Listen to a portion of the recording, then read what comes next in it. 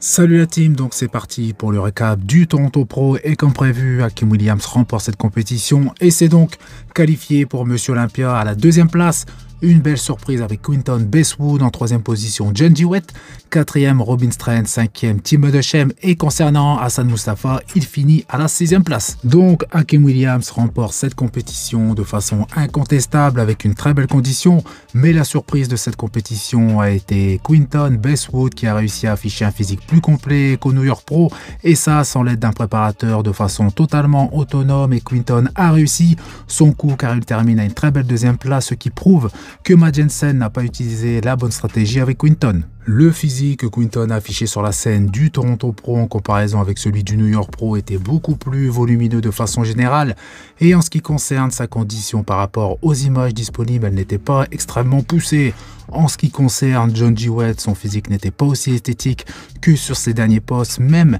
si je sais qu'il n'est pas reconnu pour ça, mais à côté des autres athlètes, c'était assez flagrant. Dans tous les cas, il a réussi à terminer à la troisième place, ce qui est une belle performance pour un athlète qui vient d'arriver dans cette catégorie. Et je pense également que le fait d'avoir pris pas mal de masse musculaire sur une courte période peut avoir comme conséquence de déséquilibrer un physique ou de le rendre moins esthétique. Pour revenir sur Quinton Bestwood, son physique était plus complet que la semaine dernière, beaucoup plus rond et rempli avec presque 5 kg supplémentaires, mais il manque encore d'épaisseur sur les poses de profil, surtout à côté d'Aki Williams, qui est monstrueux et d'ailleurs les poses latérales sont ses poses les plus fortes aussi bien en termes de volume et de conditions, et Quinton affiche enfin les améliorations faites pendant sa longue période sans compétition, et ça annonce de belles performances pour la suite, et pourquoi pas remporter sa prochaine compétition s'il continue de faire du très bon travail comme entre le New York Pro et le Toronto Pro. Sur les poses de dos, Hakim n'est pas le meilleur. Parmi ce top 4, d'ailleurs ce sont ses poses les plus faibles, et même la condition n'est pas de qualité, et on le voit très bien à côté de Quinton Bestwood,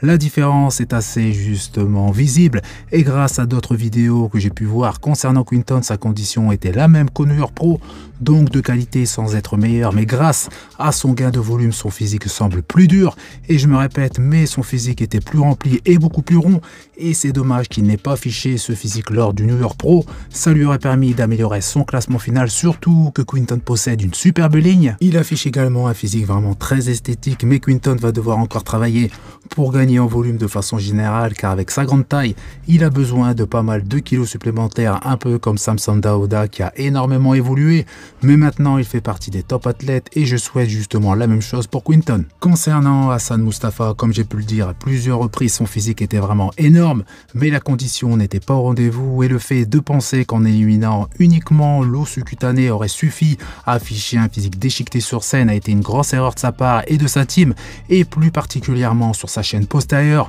comme sur les vidéos d'ailleurs que je vous ai présentées dernièrement c'était la même chose sur scène hier, aucune séparation au niveau des ischios, même un minimum et encore moins au niveau des fessiers. Et si on le compare aux autres athlètes, il était loin derrière en termes de conditions. Et je suis justement assez déçu de ne pas voir Hassan Mustafa avec une condition plus poussée et il va devoir faire les ajustements nécessaires s'il souhaite se qualifier pour Monsieur Olympia car il faut qu'Hassan affiche un physique déchiqueté, la seule solution est de suivre une diète adaptée mais également plus de cardio, bref, pas mal de choses à revoir pour Hassan, surtout s'il souhaite se qualifier pour Monsieur Olympia, mais je peux dire avec certitude qu'Hassan n'ira pas à Monsieur Olympia cette année s'il n'améliore pas cette condition. Donc nouvelle compétition qualificative pour Monsieur Olympia qui vient de se terminer, je reviendrai dans une prochaine vidéo sur la feuille des notes des juges, dans tous les cas j'ai trouvé que cette compétition était, sans manquer de respect à tous ces athlètes, la moins élevée en termes de niveau depuis le début de saison. Encore félicitations à Hakim pour sa qualification pour Monsieur Olympia avec son gros physique de face et surtout de profil avec une épaisseur et une condition qui n'a pas d'égal dans la catégorie. Par contre, encore du travail concernant sa chaîne postérieure. Il lui faut plus de largeur et d'épaisseur mais également une condition plus poussée. On notera également le retour en force de Quinton avec un physique plus complet mais doit encore gagner de l'épaisseur surtout au niveau des cuisses principalement de profil. John G. a fait très bonne impression mais aura beaucoup de mal à s'imposer dans un prochain année. Donc n'hésitez pas à me donner votre avis concernant le résultat final de cette compétition et sur les athlètes qui étaient présents sur scène.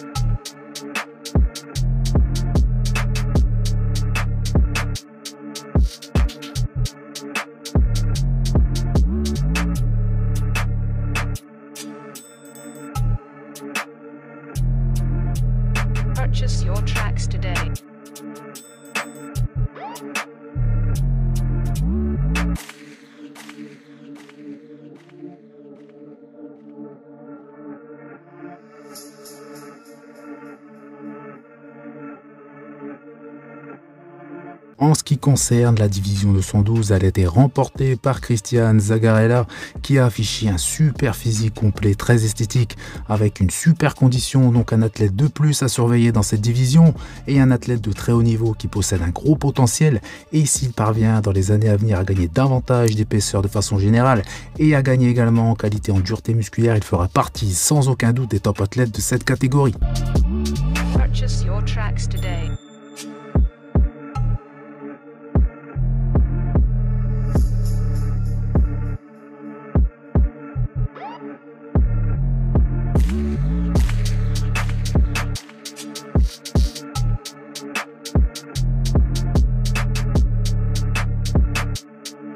On passe à la catégorie classique physique et encore une fois un nouvel athlète fait parler de lui et bien évidemment de façon positive grâce à son physique incroyable. Il s'agit de Niall Darwin qui vient de remporter le Toronto Pro. Niall possède un physique parfait pour cette catégorie en termes d'esthétisme et pour ceux qui comme moi suivent particulièrement cette catégorie, on ne peut qu'admirer justement ce type de physique et je le répète sans cesse mais cette catégorie regorge d'athlètes fantastiques qui apparaissent à chaque nouvelle compétition, ce qui élève davantage le niveau de cette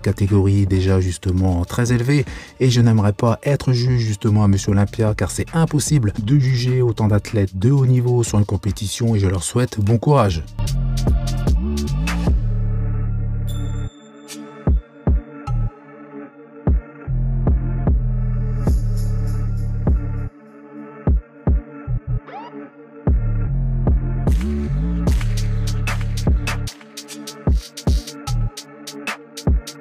Donc voilà, c'est tout pour cette vidéo. Donc comme d'habitude, je compte sur vous pour faire péter les pouces bleus, ça fait plaisir. Vous pensez également à vous abonner pour ne rater aucune de mes prochaines vidéos. Je vous dis à bientôt. Salut